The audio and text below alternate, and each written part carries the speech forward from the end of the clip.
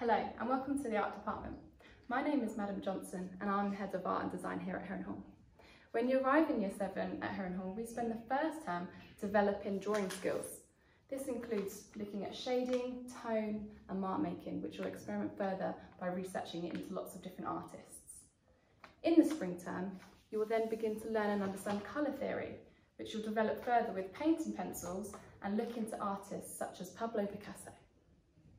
Finally, as you head towards the end of year seven, you will then begin to create compositional collages to form abstract patterns out of paper and other materials in the style of Henri Matisse.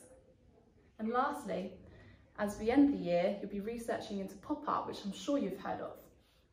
And you'll look into the wonderful, vibrant pieces produced by Andy Warhol, where you get to experiment with mixed media again, so using pens, paint, paper and fabrics.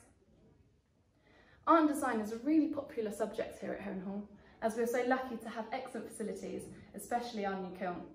We are fortunate to be so close to London as well, so that we can just hop on the tube and visit the excellent Tate Modern and National Galleries, which we visit with all our students across the year groups.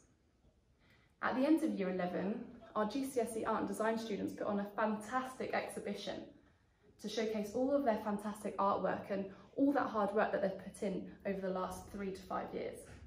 From sculptures to large paintings to video installations, you name it, we do it.